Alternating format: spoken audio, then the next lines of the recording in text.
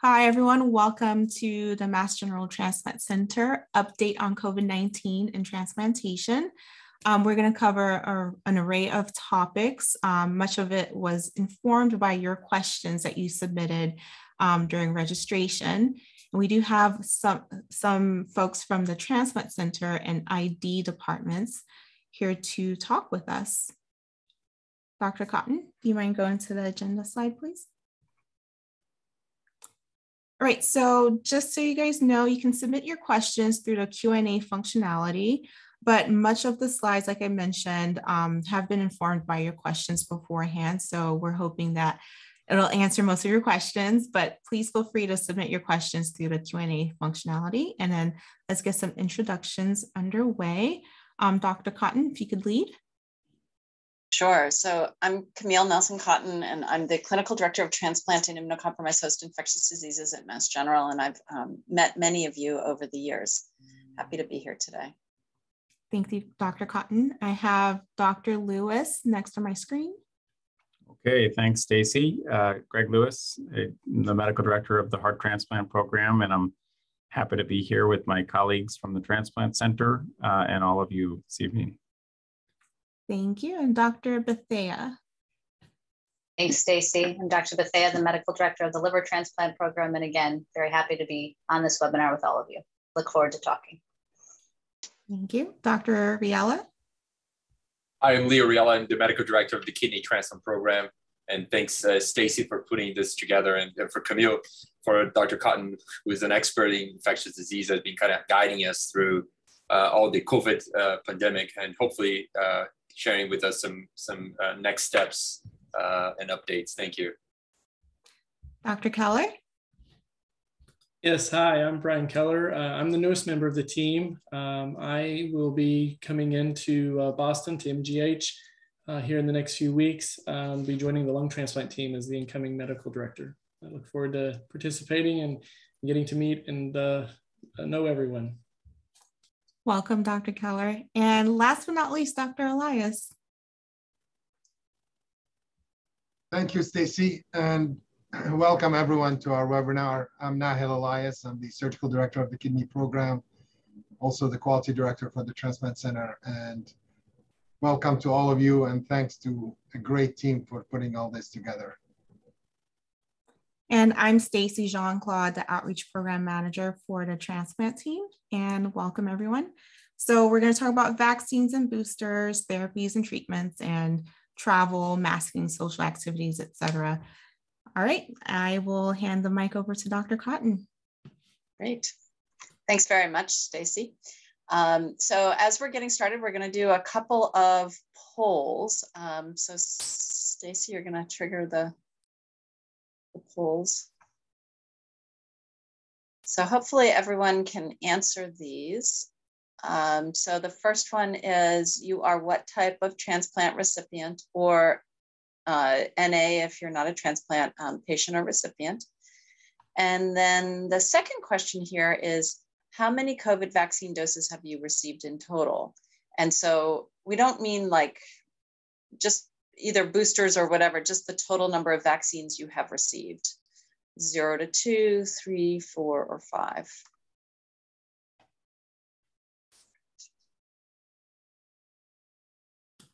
I'm gonna give you guys five more seconds and then I'm gonna end the poll and we'll see the results.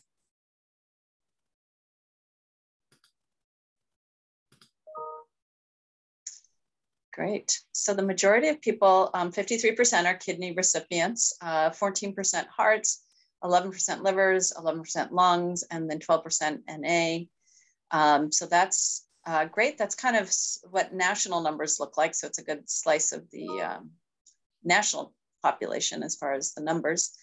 And then uh, most people have received four doses of vaccine um, 68%, 16% have had five doses, and that's great because that's sort of the maximum for where we are right now, but those people are fully, fully vaccinated. 13% have had three, and 3% have had zero to two. Um, so great, great. Well, thanks. That, that helps um, frame the discussions. Um, so where are we now? And um, here is the current scheme for vaccinations and boosters for transplant patients. So um, for uh, people over the age of 12, and I'm assuming that most people on this call are adults, so either over the age of 12 or over the age of 18, whether it's Pfizer or Moderna, people at this point should have had three doses as their primary series, and then a booster at least three months later, and now another second booster four months after that first booster. Okay, so it should be, I call it the three plus one plus one, where it's three doses of the primary series, one booster, and then another booster for at least four months later. For those people that got the Janssen uh, or J&J vaccine, it's um, basically four doses with uh, two as the primary series plus a booster after two months and another booster after four months. All of this is available from the CDC, and it also came out in that um, message that you got on Gateway within the past several days. So everybody hopefully is heading into five vaccines or has had five vaccines. There's been some discussion that when people go to pharmacies that they are not able to get the vaccines that are needed. And I will say that as long as you click off immunocompromised, you should be able to get these vaccines the CDC has said that people can self attest, like you can just state that you are immunocompromised, moderately or severely immunocompromised. Certainly, organ transplant patients always um, qualify, uh, and that vaccinators should not deny vaccination to a person due to lack of documentation. So, you don't actually need to document, and these should be widely available at this point. Now, in addition to vaccines, and you know, I will say that there's a lot of great safety data on vaccines, and we're feeling really comfortable with vaccination at this point. And we know that vaccines have really saved hundreds of thousands, if not millions, of lives at this point. Immunocompromised people are less likely to respond to vaccination.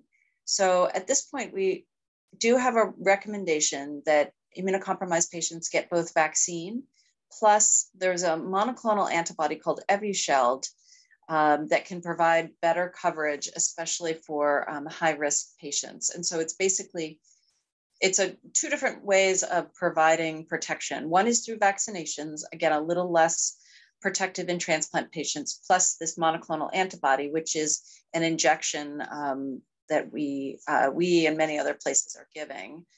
Um, and uh, just this week, Dr. Riella and his group had safety and efficacy data in um, transplant recipients showing really um, good outcomes as far as safety and then that it's effective uh, to use this monoclonal antibody. The monoclonal um, antibody has been uh, a little hard to come by. Um, the rollout, um, we need to do injections and observe for an hour afterwards. So there, um, it's been a little slower than um, nationally than we would have liked. But I think at this point, we're, we're doing a pretty good job. There are a lot of questions on antibody therapy versus vaccines. So Evusheld is the antibody therapy, and these are proteins that uh, mimic or improve the body's natural immune response. Um, and they do act like our own antibodies to basically identify and attack a specific disease causing organism. And unlike vaccines, they work almost as soon as they are administered.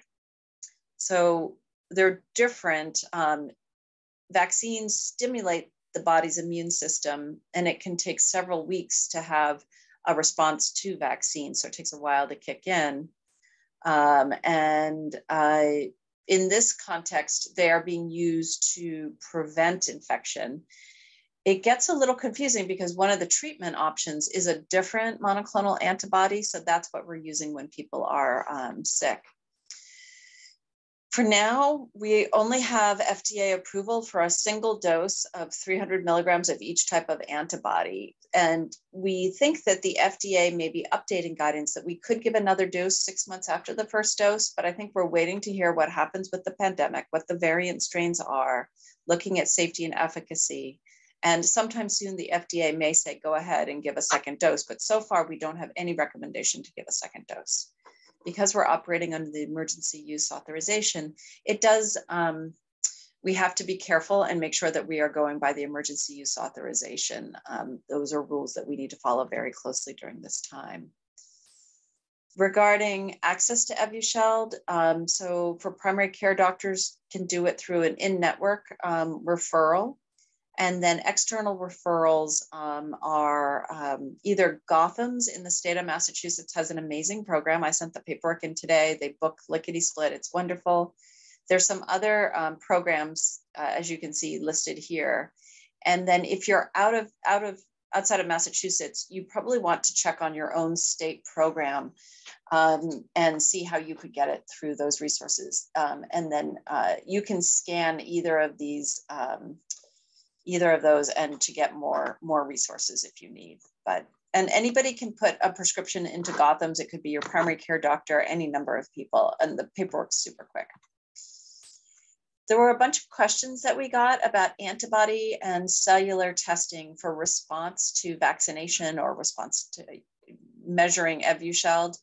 These are still not recommended and the cdc has said that the utility of serologic testing or antibody testing, cellular immune testing, or B cell quantification to assess immune response to vaccination and guide clinical care has not been established. And they are not recommending this testing um, outside of research studies at this time. And so the background there is we don't really know what level of antibody is protective or what level of cellular immune response is protective. And um, uh, so we um, can't uh, tell you what is safe. Um, so it's really important. I, I've seen some dangerous situations where people have checked their antibodies and then they like take off their mask and go to parties and stuff. Like that's really never recommended. Um, and it's important that we give vaccines and protective antibodies as recommended, not based on antibody um, levels. Um, some of you may be confused because we have measured some antibody levels when we initially had very limited supplies of Evusheld. And so we were just doing that to give it to people who were antibody totally negative, so they got priority. But at this point, we don't need to be doing that any longer. And unfortunately, and I know many of us on this call would really love to have either an antibody result or a cellular immune testing result that would tell us we are fully protected, you're good, go ahead you know go go to the concert go do whatever it is you want to do and you'll be totally protected and that's definitely not available at this time and i suspect it actually won't really be available we very rarely speak like that in the immunology and infectious disease world so let's do another poll question. Um, Stacy can put up the poll, but what precautionary measures, measures do you currently follow? Are you doing masking, hand hygiene, avoiding crowds, or all of the above? And why don't you go ahead and vote?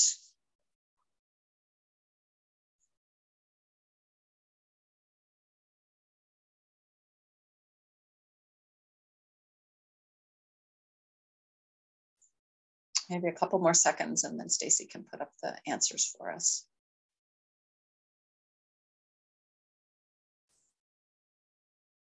Great, 84% of you are doing all of the above. So that's um, that's great. That's great. I, I do think at this point in the pandemic, we still need to be doing all, all of those things.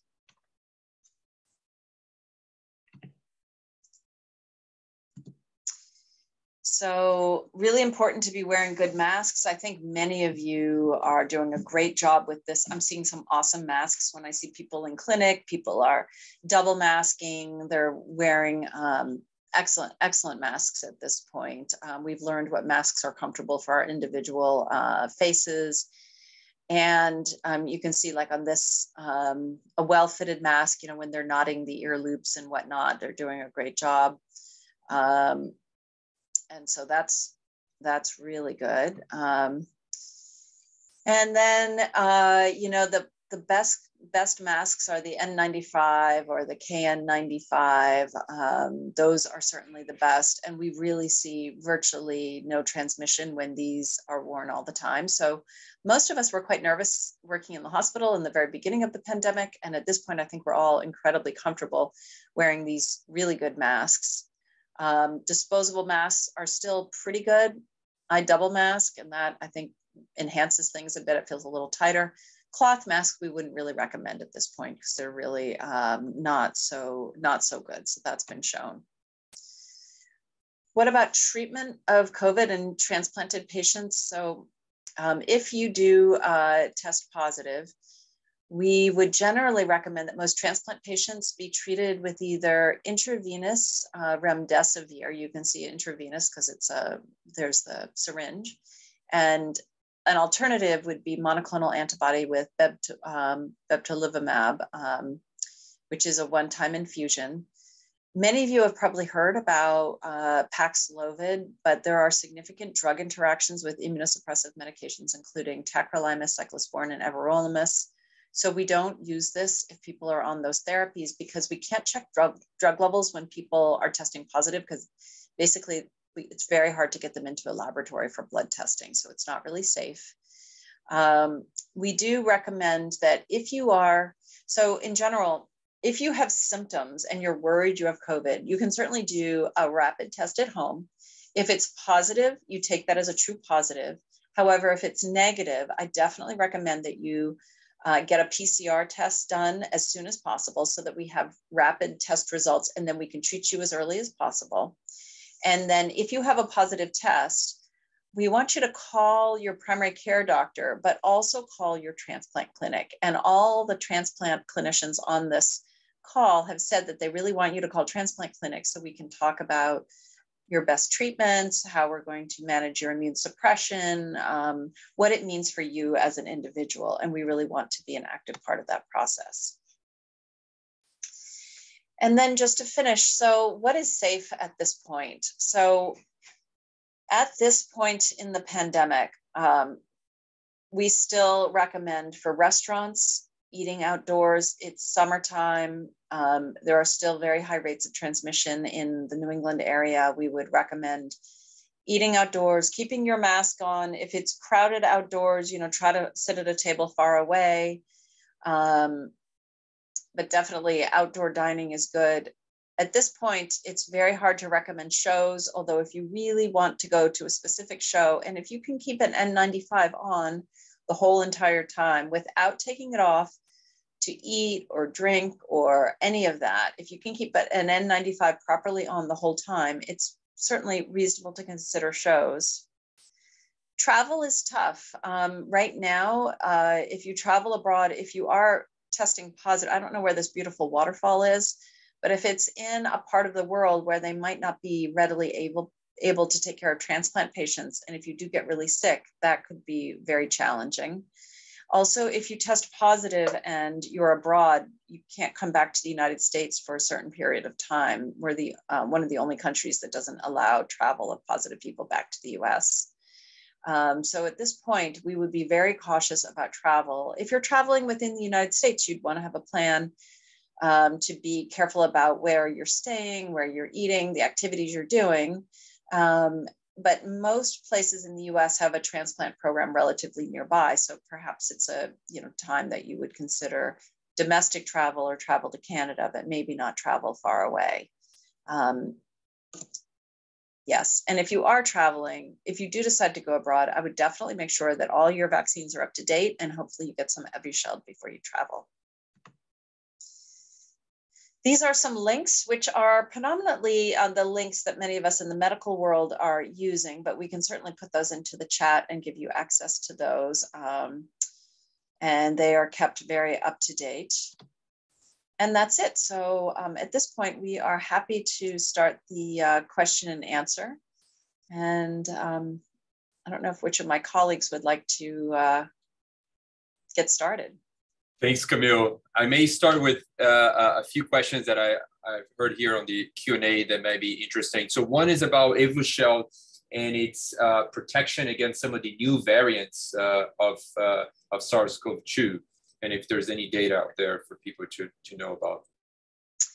Yes, that's a very cutting edge question. Um, we are concerned that with BA4 and BA5, which we don't have in high number yet in the United States, but that Evusheld may be much less protective uh, against those. But that's we're waiting on more data on on that topic. But that's a really important one. So Evusheld may work for a while. So if you're timing something, like if you really feel like you need to go on a trip or if you need to do something, it might be actually a moment of opportunity. We've seen all these ebbs and flows during the pandemic. And right now, before we have a lot of, you know, the next variant, um, it might be a good time to take the opportunity to do something uh, cautiously, but with Evusheld and a lot of vaccines on board. Thank you, Dr. Kotton. May I, may I bring Dr. Lewis for the discussion? There were questions about Evusheld and some of the side effects uh, that were reported, um, including the, involving the heart. Can you comment a little bit on that? Sure, uh, thanks, Leo. So the ProVent trial uh, enrolled over 5,000 patients and looked at all adverse events. And the, the adverse event rates are actually very similar in those that received Evusheld and those that received placebo. Uh, so the concern about cardiac side effects, there was uh, one myocardial infarction or heart attack uh, in the Evusheld group um, in the trial that had a two to one randomization. So more patients got Evusheld than got the placebo. Um, and there were zero in the placebo group. So I think that there were some early concerns raised about the possibility of myocardial infarction. But if you look at the, the numbers, know, the adverse event rates were very low um, with Evusheld uh, in the largest trial that was done to date. And again, the overall adverse event rates were no different between the two groups.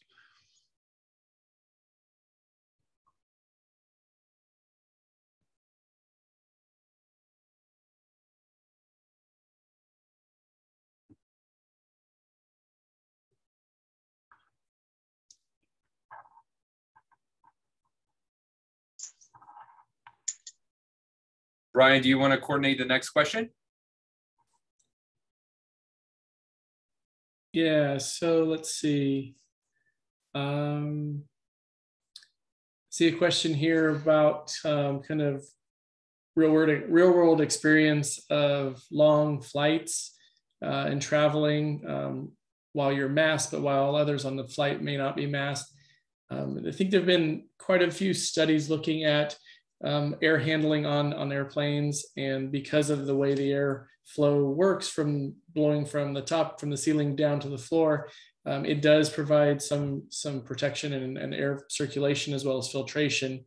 Um, I think there's not there's always going to be some risk uh, as long as there are unmasked passengers and and we do know that um, masking works best when everyone is masked and um, each each step you know every time someone is wearing a mask there's a little bit more protection.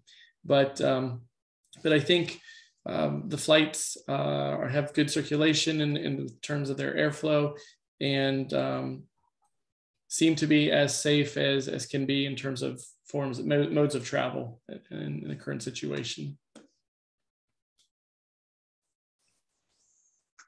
I can jump into, I see a few more questions following up on, on Evusheld. One's a two-part question um, about weight limits. Uh, there's currently sort of a, a weight limit around uh, someone here is sort of shy by a few pounds of it, asking if it's still safe. And then also noting, which I think applies to some of multiple questions, having a reaction to one of the vaccines. Um, and, you know, in that case, would we recommend Evusheld or something alternative?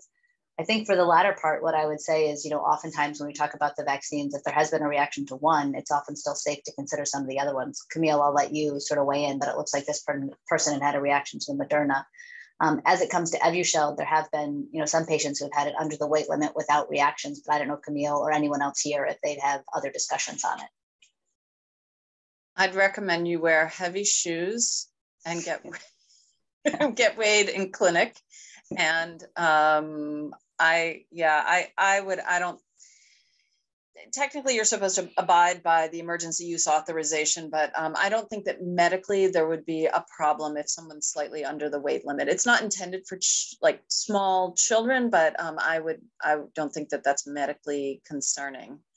Um, there are questions about trending antibody levels after Evusheld. And again, that's really not um, recommended. And I think it just enhances anxiety and it's not clear that it is recommended or that we know what to do with it. Um, so I hope that helps. I would just get your Evusheld, get all your vaccines. We do strongly recommend vaccines if you have to pick one or the other, I would definitely always go with vaccine for better general protection, but then also try to get um, the Evusheld in addition to, like it's a kind of a two different approaches.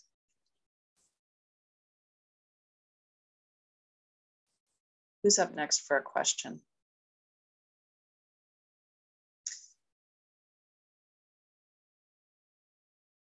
Um, somebody's asking if there are any long-term effects of taking Paxlovid. Um, uh, and we don't think so that there are any long-term effects. We are very comfortable with one of the drugs that's in Paxlovid. It's a combination, and we have had decades of experience with ritonavir, and we think that that is quite safe. But again, we don't recommend Paxlovid for transplant recipients if they are on tacrolimus or um, cyclosporin or um, everolimus or sirolimus because of drug interactions.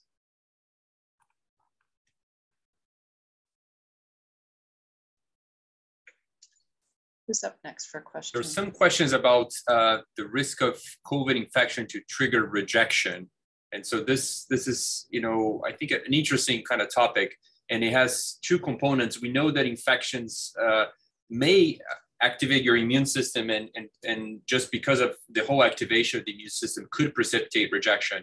And the second part is that whenever you have an infection, a very severe infection, uh, there might be some reduction or adjustments on your, your immune suppression, and, and that can sometimes make the immune system more active. But despite all that, when we review all our, our, our data of patients that have developed COVID, at least in the short term, we have not seen a, higher rates uh, of, uh, of rejection. So I think the, the immune suppression adjustment is something that you have to do with your own provider. Uh, so whenever you get, if you get COVID, by chance you have to contact your transplant center and, and talk to your provider. And of course, they will look into individual cases and decide on the best approach. And it's a balance. And uh, for each one, this balance may be different. Uh, but it, it is definitely something that uh, we are, we're very careful and we take that into account whenever we're doing adjustments.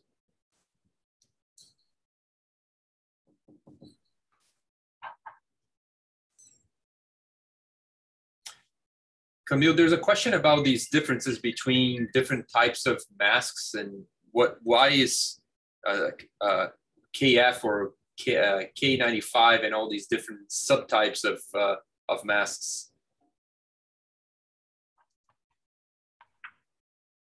I don't see the question. Sorry, there are a lot of questions, folks. um, and I see a question. I do see. I don't see that question. Um, it's more, I think, more about you know, is it worth you know getting one of these different masks versus a mask that kind of fits you well and protects and I know that some of them are uncomfortable. Like if you're going for a long time, it, you know, especially with some of the very tight ones, it's really hard to keep them. Uh, and so, where is where the balance kind of lies into those? Yeah, so I find it really hard to wear um, an N95 for a long time. And I think all of us um, healthcare providers would be uh, quite familiar with that. But, you know, now I have this N95 that's a duck bill, and I, it's not very fashionable. I think, I think Dr. Bethea is laughing at me, but um, I can wear it all day and I wear it, wear it to round. I think we all find what's good on our face, but I think for most of us at this point, we just want to prevent COVID. So it's whatever, you know, I would try several different types, but certainly N95 is the highest level. Um, and then the uh, KN, it's KN94, right? Is the like next, and that's really comfortable to wear. And then after that, it kind of goes down to these surgical masks. I don't know, Leo, if there's something more in that question, or if anybody else, um, maybe Brian, because he's a pulmonologist, so he's attached to those lungs. Yeah, absolutely. No, you're absolutely right. The the N95s provide the greatest protection, and it has to do with the the pore size of the mask. And and as you go down in efficacy, you're essentially getting masks with larger pore sizes. Uh, so the KN94s are not quite as good, but they're they're still better. Surgical masks are good. Cloth masks have the biggest pore size, so allow the most um, particles through it. Um, I think I would also point out too, the CDC website has a list because you can go online and buy these KN94 masks, but um, with anything where there's been an explosion of pop of demand, you get some some manufacturers that aren't following best practices. And so the CDC actually has on their website a list of KN94 manufacturers that are uh, approved in terms of the quality of the masks that they're they're making. So you can find the manufacturer and then you can go on and purchase it from Amazon or your local store. Um, but it really comes down to, uh, to like Dr. Kotton said, a combination of what you can tolerate um, and in wearing um, for however long period you need to wear the mask um, and, and using a layered approach, masking on top of hand hygiene, on top of social distancing, on top of vaccinations and shell So it really, um, the more protections you incorporate, the, the better protected you'll be in the long run. Thank you, Brian. Um, let's see what we have. There are. Nahel, I've seen a few. oh, go, go for it. I've, I've seen a few questions just asking, maybe you can reiterate the timing of Evusheld around um, vaccine, meaning making sure there's some time spaced out so that we don't impair antibody formation or don't impair vaccine efficacy. Actually, so we think that actually there's no real interaction between Evusheld and the vaccine, but under the emergency use authorization, you aren't supposed to get um, Evusheld for two weeks after vaccine. So once you get a vaccine, like I saw somebody in clinic today, they'd gotten a vaccine 13 days ago, and I wanted to give them Evusheld, but they were within that 14 days, so I didn't give it.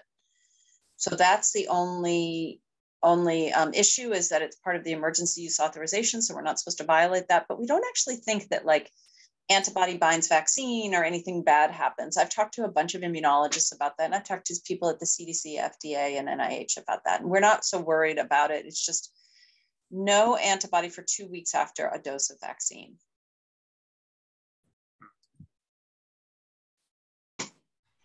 And then I'm seeing a lot of questions still about um, or hearing about uh, commercial pharmacies denying uh, booster vaccines. And honestly, um, you know, for all of us, it's been really hard to stay up to date during the pandemic. And I think some pharmacists um, struggle as well. And in a perfect world, everybody would know everything all the time. But um, I think it's, you know, you can show them the CDC guidelines that you do need two boosters if you're immunocompromised. So sorry that that's a problem. I have spoken with the CDC frequently, and they're communi- they actually have a communications group that works with pharmacies. But I think it's hard to keep everybody up to date all the time with such a moving target. So we apologize if you're having trouble with that. We do have vaccine available in many of our clinics and pharmacy here. So if it's a real problem, um, we can help. Camille, can I bring this question about dining indoors? Uh, uh, versus outdoors and what is true the risk of, uh, of, of the indoor dining i know now with the summer maybe that's less of importance but i know it's something that always comes up in clinic. Yeah. Well the problem is you can mask right? Like you can go to the movies and wear you know a, a really good mask. You can do so many things but you need to take off your mask to eat or at least it's very very hard. Um, so i personally uh, you know, there is significant risk of transmission, especially if you're sitting in a crowded restaurant with people around you. This isn't, you know, the virus is in the air. If people are at the table next to you or people that you're sitting with, it's there, it's in the air. Um, I'm not doing any indoor dining um, because of that, because I don't want to get sick, because I'm taking care of all of you. Um, so uh, we don't eat indoors and outdoors because of wind flow and wind, you know, movement. Um, we really think that it's much, much safer. So I, I, hope that answers the question. I know it's kind of a sad state of affairs, and a, we'd love to say it's safe, but it's really that's not that's not safe at this point. I think we should all take full advantage of summertime and you know there's so many places that have outdoor dining um, they're on your apps where you make dinner reservations you can put like show me the outdoor options um, there's so many good options you can go to a picnic bench you can go to a park like you can do so many things. And i know that sometimes you're the only one doing it because i'm there with you actually. I, I made my kids sit outside for dinner on saturday night and everybody else was indoor inside the restaurant. But we had a nice time. How many of the rest of you are eating eating outdoors still on the, of the clinicians on this call? I tend to, yeah, if we can't sit outside, of course. yeah, but I mean, you're sitting, yeah, you're sitting outside. What's the next quote? Oh, Nahel, do you want to pick? I have one in mind, Nahel, if you're looking. Um, I, I was going to ask Neil, um, it seems like there have been a number in terms of having COVID and if that should weigh into timing of vaccination, you know, when you should be going for additional boosters or additional vaccines based on when you've when you've had it, if that should delay any of the timing. So for people who haven't had an organ transplant, we do recommend now, there's a new guidance that we recommend um, waiting three months after infection before getting boosters, but we don't know that to be true for transplant patients. So I'm seeing so many transplant patients who are not up to date. They haven't had the full either four if they had J&J or five if they had all Pfizer or Moderna. They haven't had all their vaccines and they're coming in with infection. So um, and they people can get reinfected pretty quickly afterwards. There was news in the past couple of weeks that people can get infected four or five times a year, and that's probably true for transplant patients. So I don't think we should wait that full three months after infection to get another dose of vaccine, especially if people haven't had the full full set of vaccines. So I think it should be shorter than that.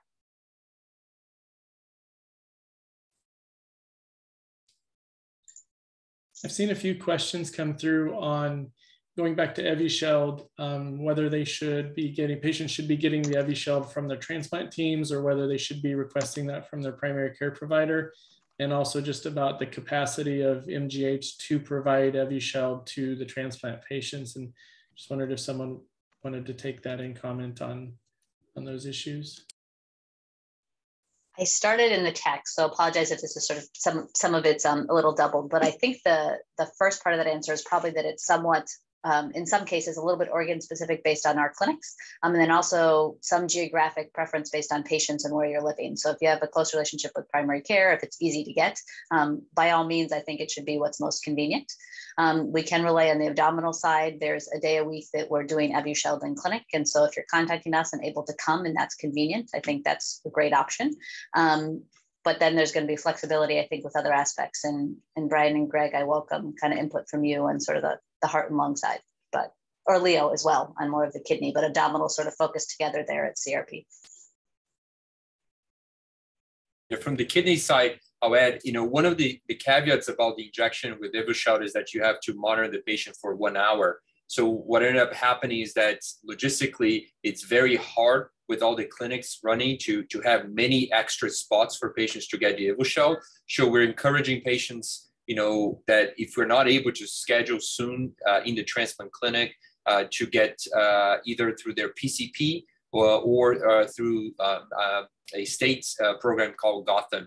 So these are, there are a couple of different ways of, you know, trying to, to get the Evusheld and maybe Dr. Lewis can also comment on the, on the heart side.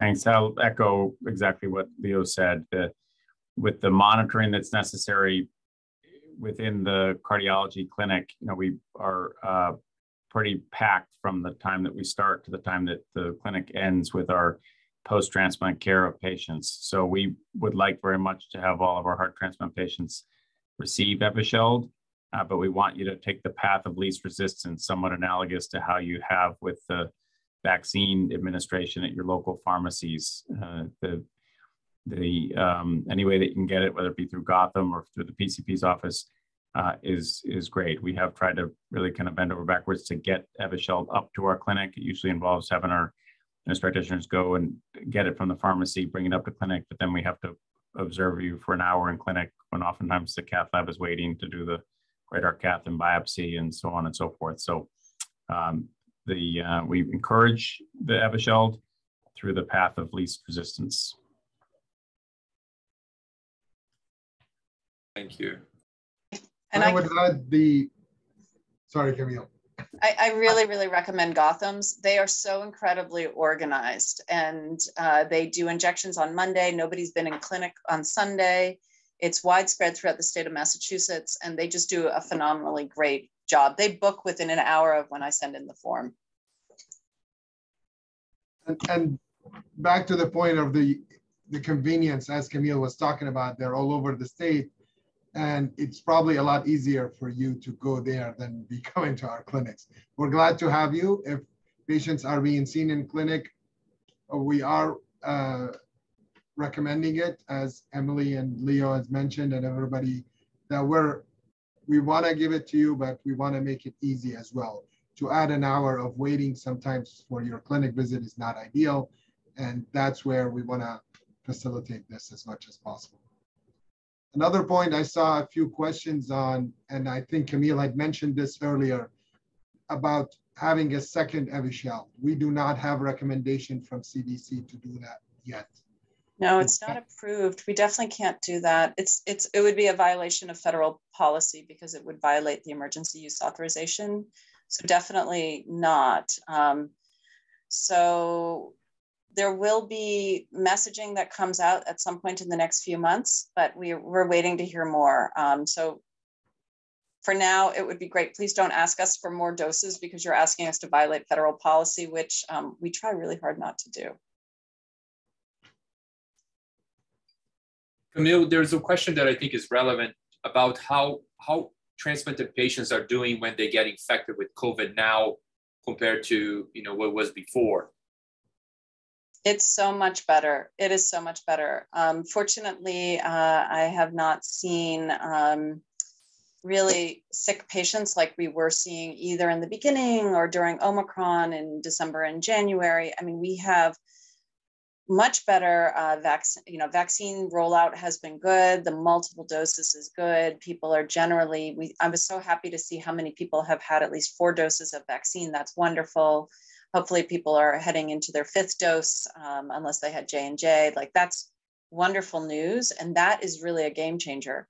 And then we have monoclonal antibodies for treatment as i mentioned and the antivirals remdesivir paxlovid for some um, not most transplant patients though because of the drug interaction. So it's really been great that things have gotten so much better um, but i'm still worried. And i one thing i really want to say is i know how hard it is for people to still feel that specter of disease out there. And um, it's been a really hard long ride. It's been a hard, hard for us in, in the medical world. And then i know and I, I i'm on the cdc vaccine committee and at every meeting i say something about immunocompromised patients and how we have to make sure we do everything we can to protect them. Um, so I am trying really, really hard um, to provide better protection, knowing knowing what a tough time it is. But luckily, we've we've had a much better experience in in recent times. Um, Dr. Lewis actually put together the heart data that was looking um, things had improved in recent in recent times. So that's really optimistic. Yeah, I'll just comment. Our our obviously sincere hope and feeling of obligation is to try to do everything possible to help you with preventing the development of COVID. We have been tracking uh, our data over time in terms of the heart transplant recipients who've gotten COVID. And I think just a message to you know any of you who've had the infection or, or may develop it.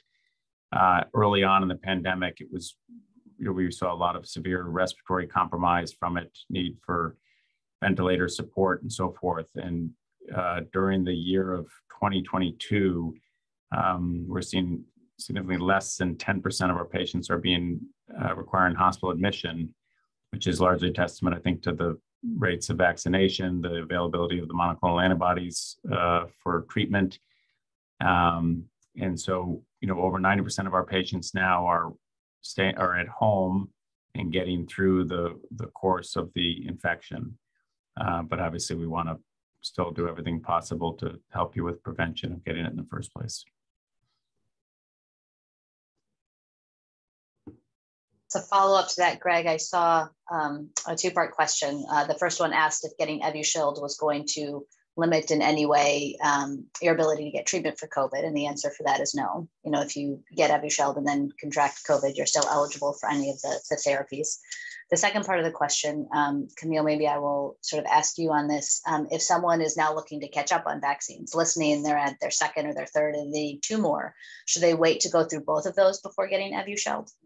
No, I would recommend. So I always pick, if you're at a point where you need something, I would always go with vaccine. Two weeks later, I'd get Evusheld and then wait either the, the appropriate number of months to get the next dose. But I would try to get Evusheld. I I'm not a betting woman, but I suspect that Evusheld isn't going to be effective forever. Um, I think that with the new variants, so basically this virus is so smart, it figures out how to escape um, immune protection. And I think that Evusheld may not be effective like this summer, this fall. So I would personally try to get try to get as much protection now, um, and maybe people can relax a little knowing that they're really well protected. But then, um, if BA4 and BA5 do come around, people really need to have excellent vaccine protection because that's really what's going to help prevent disease.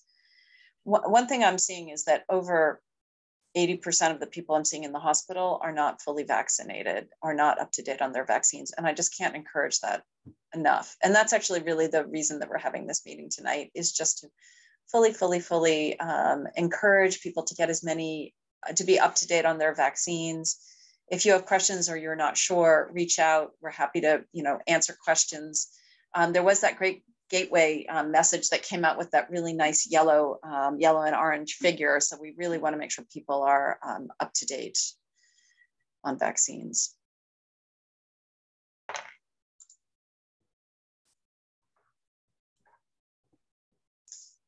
So somebody's talking about flying to an event. Um, so somebody's talking about flying to an event. So I'm not I'm not afraid of the airplane because I would always mask on an airplane. I would, I wear, my family, we fly, we wear good masks.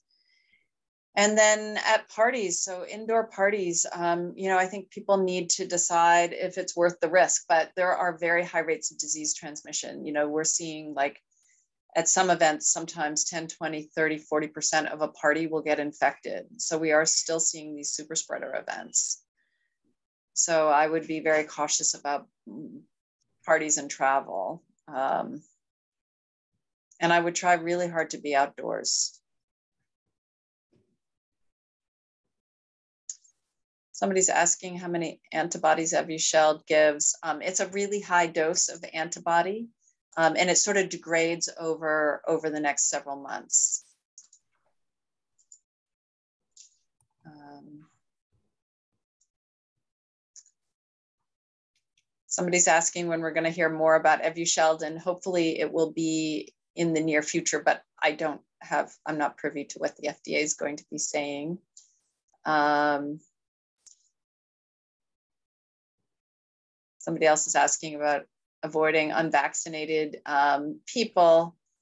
You know, um, we do think that unvaccinated people are more likely to have higher virus in their airways when they're infected, so they're probably higher risk to be around.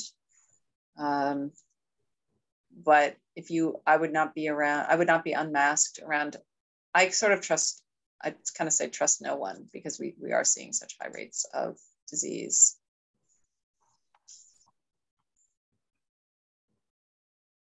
Greg, there was a question here uh, uh, in terms of the, the Evusheld again, if you have a history of heart disease, should you be more concerned about getting Evusheld, maybe just to reinforce that? Yeah, I think there was this early signal with a single myocardial infarction, which I think obviously can happen at any time. And so, because of that, in proximity to when the vaccine was given, that uh, you know raised the signal of concern with the Evusheld. But fortunately, with the very large trial of you know over 3,000 people getting Evusheld, uh, it was a single event. So it is something that we've discussed with our you know patients that have had such severe heart disease that they've required a heart transplant in the past.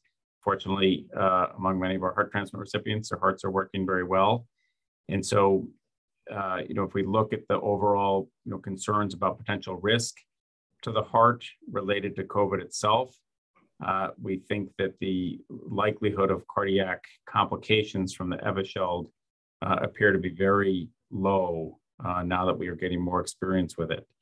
Um, Camille can certainly weigh in on, on her thoughts. I know that there was uh, a lot of discussion about this when the Evusheld was first coming out in terms of what we should do with patients that have a history of cardiac mm. uh, disease, but the incidence rates have proven to be very, very low.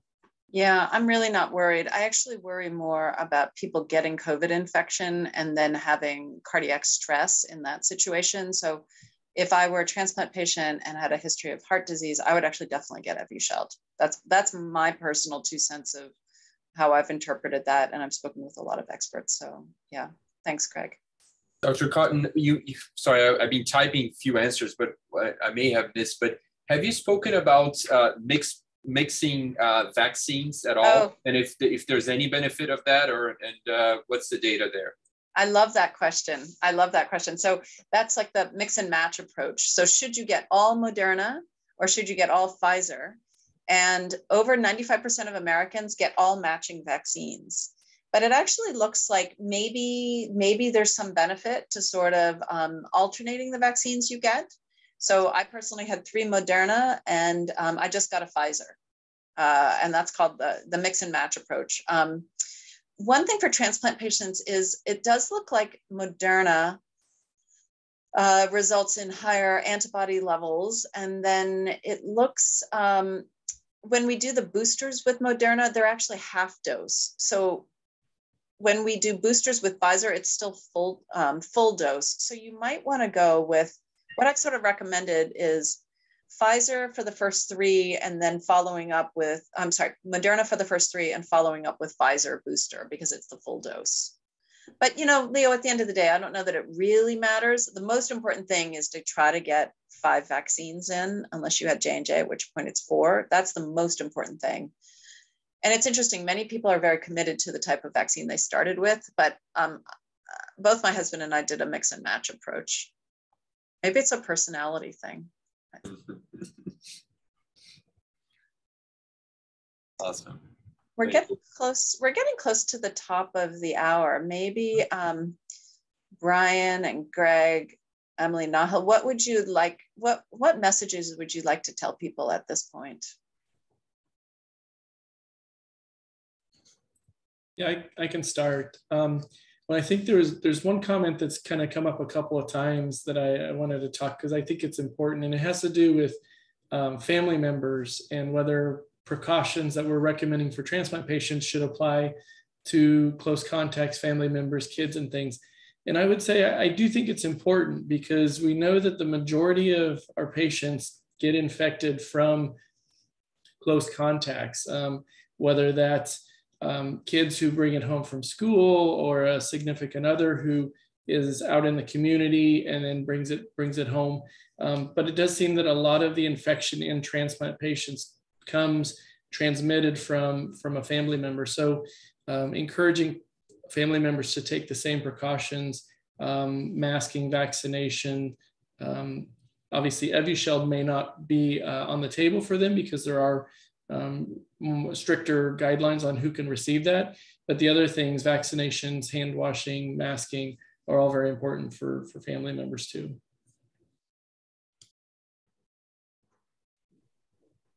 Dr. Lewis?